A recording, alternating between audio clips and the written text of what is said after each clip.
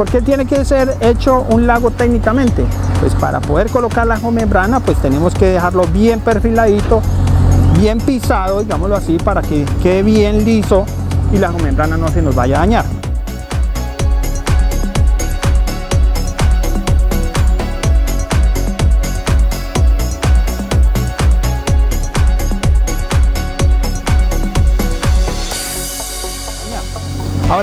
¿Cuál es la diferencia entre trabajar con un lago en tierra, como está aquí el día de hoy, y colocarle una membrana? Hay una diferencia muy grande. Primero, la bioseguridad, excelente con la membrana. Solamente usted, digamos, sacamos la cosecha, vaciamos, echamos agua, dejamos solarizar 15, 20 minutos. Eso se pone que no puede tocar uno esa membrana con la mano. Con eso es más que suficiente y estamos ahorrando mucho dinero en el tema de, digamos, de la asexia que se debe tener en cuenta en la piscicultura. Al pasar de un lago en tierra a membrana, tenemos la oportunidad de sembrar tres veces más de la densidad de siembra que tenemos que es de 5. Ya pasamos a sembrar 8 peces con la misma cantidad de agua y lo más importante es que vamos a reducir el consumo de alimento porque ya aquí en este papel entra a trabajar los microorganismos. Aquellos microorganismos pequeñitos que están trabajando para nosotros consumiéndose la materia orgánica, convirtiéndose de esta manera en una proteína entre un 45 y un 60% que no la tienen los concentrados. ¿Qué va a hacer, digamos, en este caso, la persona que está al frente del proyecto? Vamos a suponer que se le subió la amonia 0.25, pues aplique microorganismos, aplique Aquabacter, ¿ya? Un centímetro de microorganismos aplicado cuando tenemos un, un amonio o un nitrito en 0.25, eso no es nada para toda la cantidad de comida que nos vamos a ahorrar. En este caso, estaríamos ahorrando un consumo de alimento entre un 25 y un 30%, lo que quiere decir que la tasa de alimento, vamos a hacer un ejemplo, Estamos dando 100 kilos de alimento al día, lo bajo a 70 y automáticamente los microorganismos convierten ese, ese nitrógeno en proteína viva representada en bacterias que van a ser microfiltradas por los mismos peces. Y ahí está el ahorro, señores. Ahorra comida y ahorro de agua. Bueno, este es un lago de 40 metros de largo por 18 metros de ancho. Entonces, ¿qué hacemos? ¿De profundidad cuánto? De profundidad tenemos 1 con 10. Entonces, ¿qué hacemos? A esos 18 que tenemos acá, le vamos a sumar 1,10 que tenemos al lado y lado, o sea, serían 2,20, 2.2 metros más, más un metro que dejamos aquí para anclar, entonces serían 45 centímetros aproximadamente, 45 y 50 centímetros, y el otro va a ir en un anclaje porque tiene que ir hasta esta parte. Entonces, si observan acá, la membrana tendría que llegar hasta esta parte. Ahora, ¿qué se debe tener en cuenta aquí en este punto? Cuando vamos a colocar, colocar la membrana. Que de aquí para allá tiene que quedar más alto que este terreno de acá. ¿Con qué, ¿cuál es la finalidad? de que no vaya a haber escorrentía hacia mi lago ya hay que tener en cuenta que aquí pues estamos caminando eh, se van a generar digamos se va a generar contaminación y necesitamos es que no nos caiga esa contaminación aquí a la piscina porque nada nos ganamos nosotros con forrar el lago y que el agua descorrentía se nos meta acá, entonces no estamos haciendo nada, hay que tener en cuenta eso señores, entonces aquí iría la zanja un poquito más alta, entonces la tierra que sacamos aquí la metemos acá y anclamos la geomembrana, esa es la finalidad de un buen anclaje en la geomembrana, o sea, no es colocarle por, colocar, por colocarla ahí, digámoslo así, sino saberla, saber cuál es la finalidad, o sea, que me quede el lago protegido, que no me vaya a caer la escorrentía acá. Entonces aquí ya me quedaría de 22.4 metros la tela de geomembrana, pero la capacidad, digamos, con el espejo de agua serían 18, el resto es las paredes y el anclaje. Ahora nos vamos para el otro lado, entonces sería el largo que son 40, entonces le vamos a sumar 2.4, que es lo mismo que estamos sumando aquí el 2, o sea que sería, nos quedaría de, 40, de 42.4 metros de largo. ¿Ya? Entonces vamos a hacer la operación matemática.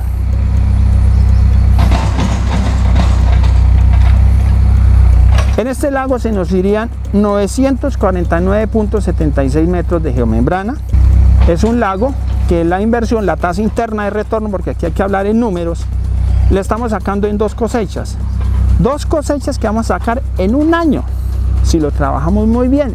Ahora, ¿Cuál es la ventaja de tener lagos en geomembrana? Yo puedo hacer un prealentamiento en otros lagos pequeñitos y puedo sacar tres cosechas. Ahora, otra gran ventaja de utilizar la geomembrana, ¿cuál es? Que yo puedo utilizar esa agua que quedó ahí hago la pesca, saco, lo que cojo en el chinchorro, que se me quedaron 4, 5 o 10 o 20 pesos, no importa, porque aquí van a entrar peces ya de, la idea es que aquí entremos de entre 20 y 25 gramos y sacamos tres cosechas en el año. Eso es, lo que tenemos que apuntarle para optimizar el espacio.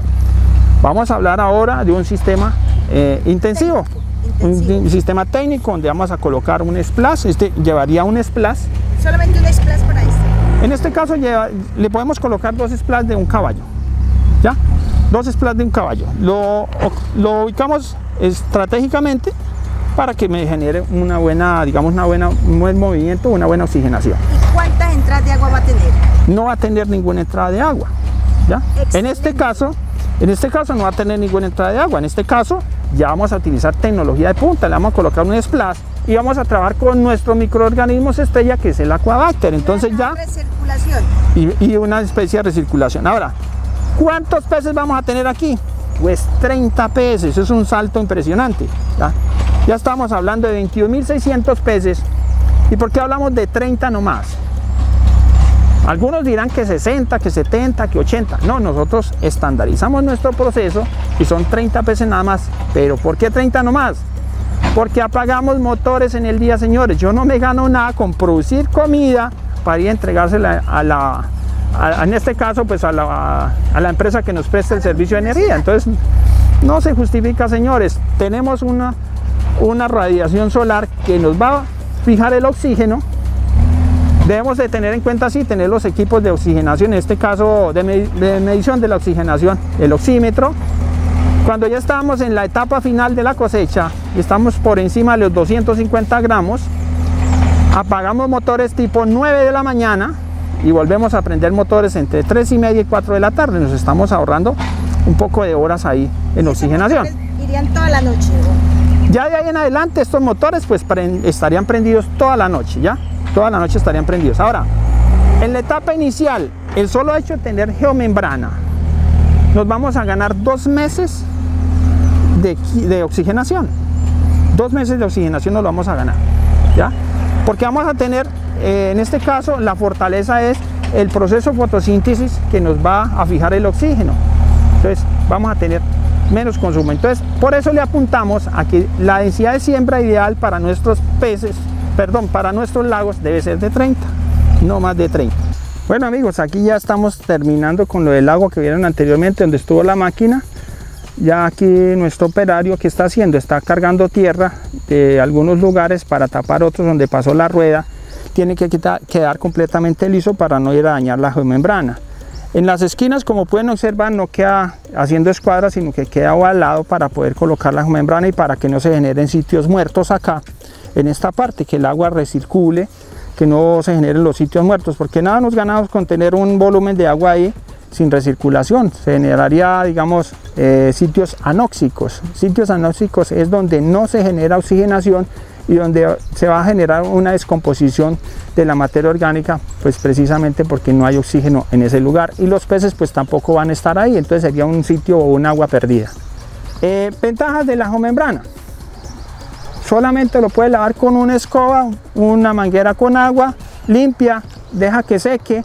Lo importante en este caso es que quede bien instalada. Cuando se dice bien instalada es que los niveles estén bien, porque nada nos ganamos con que la membrana quede digamos el agua que recarga hacia un lado hacia donde no va a tener el desfogue. Entonces tiene que quedar bien nivelado para que no se vaya a quedar el agua que, que si soltaste un pocillo de agua aquí igual sale allá por, por el desfogue. Ese es como lo más importante cuando se instale la membrana no es tapar digamos o forrar el agua por forrarlo sino que quede bien nivelado el terreno. Aquí tiene un sifón a centro lo que me permite que los óleos van de aquí hacia allá y de allá hacia acá.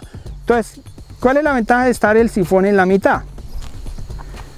Que el recorrido de los óleos pues va a ser más corto. Si lo tuviéramos en esta esquina ya se empezaría a generar problemas. En este caso no, lo tenemos aquí en la mitad y retirado de la pared, como pueden observar ahí, está retirado de la pared. Y abajo del nivel de la, de la membrana, ¿ya? Perdón, de, de, la, de la, tierra, este, este nivel está abajo más o menos unos 10 centímetros, o sea que fluye el agua hacia ahí para que drene rápido. A mí me interesa vender, pero no vender por vender porque hay mucha gente que ve los videos y pues se emociona, porque uno, vive, uno es de emociones, ¿ya? dice, ah, no, yo voy a montar lo mismo. Pero entonces ahí hay unas preguntas básicas que uno tiene que hacerle a esa persona y es lo siguiente, como dicen, aterrizarlo, porque a veces uno de la carrera no queda nada. Entonces tiene que hacerle unas preguntas básicas como por ejemplo, ¿a qué altitud está? Y ya, pero ¿por qué esa pregunta? La pregunta es muy sencilla, porque es que resulta que la mojarra roja o la mojarra plateada son peces tropicales que funcionan muy bien hasta los mil metros de altura sobre el nivel del mar. Ya de ahí en adelante, no esperen que la cosecha nos vaya a salir al mismo tiempo con aquella persona que está ubicada a los 800 a los 600 metros. ¿ya? Se nos van a ir dos o tres meses más de cosecha. Entonces, un ejemplo, si don Pedro está a 800 metros sobre el nivel del mar y Juan está a 1200 metros sobre el nivel del mar, don Pedro sacó la cosecha a los 5 y don Juan la sacó a los 8. Entonces ahí está la gran diferencia. Son peces tropicales que necesitan de una muy buena temperatura para que haya un buen metabolismo y asimismo pues haya un consumo de alimento.